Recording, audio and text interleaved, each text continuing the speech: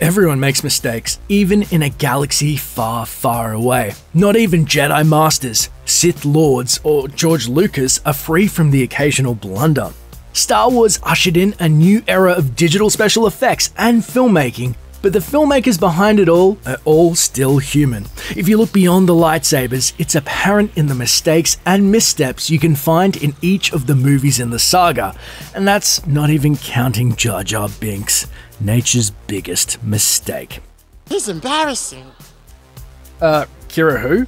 There's a reason people forget Keira Knightley was in The Phantom Menace. The British actress plays Sabe, a quiet handmaiden who serves as the costume decoy of Natalie Portman's Queen Amidala through most of the movie.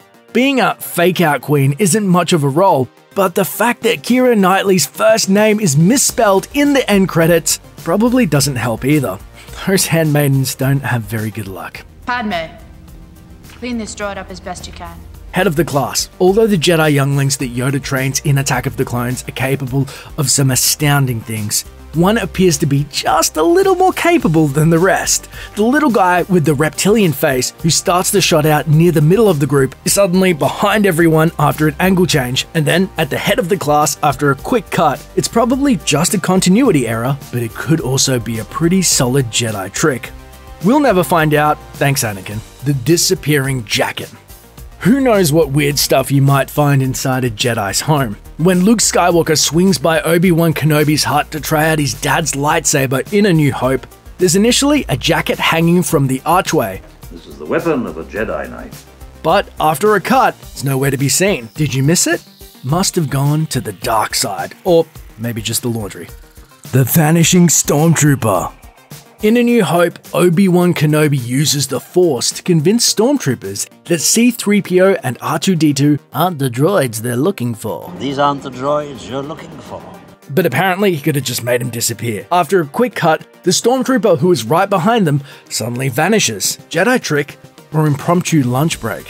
Vader's quick change. During Darth Vader and Obi Wan Kenobi's epic lightsaber battle at the end of A New Hope, Vader gets pretty mixed up, and not just because Obi Wan evaporates into his own robe. No! The buttons on Vader's chest plate first appear on the right, then they switch to his left. If only switching between the light and the dark sides was so easy. Model misbehavior. The battle sequences on Hoth in The Empire Strikes Back were larger than life, especially because of the Empire's enormous Imperial walkers, but looking back, some of the practical special effects seem a little crude. After Luke blows up the guts of one of the massive war machines with a grenade, it comes tumbling down. Now, watch the back leg. You can't miss the pole used to tip over the miniature model, which comes out of the ground and quickly retracts. Not so slick. Millennium Flyby.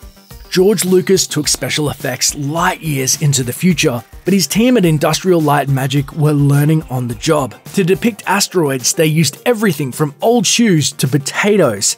In a view from the helm of the Millennium Falcon during The Empire Strikes Back, you can briefly see the Millennium Falcon fly past itself. It's blurry, but that's Han's ship doing a barrel roll from an unused scene. That's some impressive flying. Crazy Carbonite.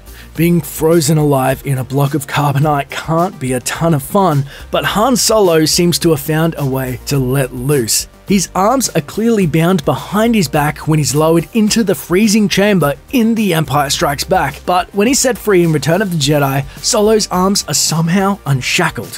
What really happened there?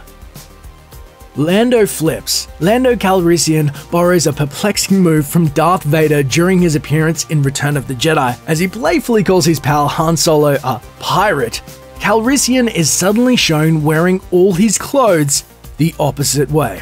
Rey makes her point. In The Force Awakens, it's pretty clear that Rey is far from an ordinary young woman, but at one point, she does something pretty extraordinary on board the Millennium Falcon. As she and Finn are repairing the ship, she points at something with her right hand in a close up. The wide shot shows her pointing with the left.